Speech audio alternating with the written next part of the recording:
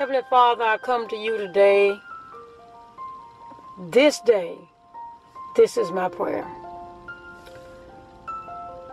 I pray for you that is listening to this prayer today.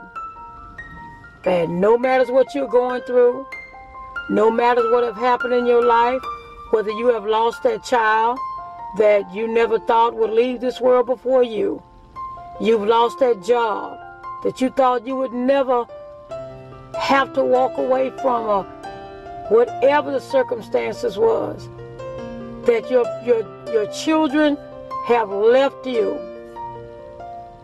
and you're sitting there alone, and you don't have no one to talk to, and something just don't seem right.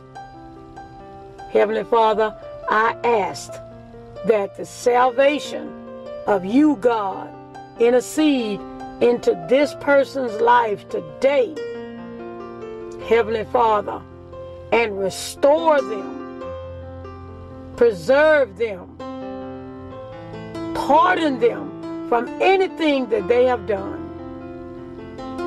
Make them whole and give them a sound mind. Make them complete, Heavenly Father. Give them peace and contentment. Give them patience and godliness and brotherly love. That sister, that brother that you haven't talked to in years, that you find a way to connect once again as you were when you were children. Heavenly Father, I want to thank you for every prayer that I have prayed for everyone, even people I don't know. I want to thank you for your glory. I want to thank you for your righteousness and your cleanliness, your majesty, your purity, and your rarity.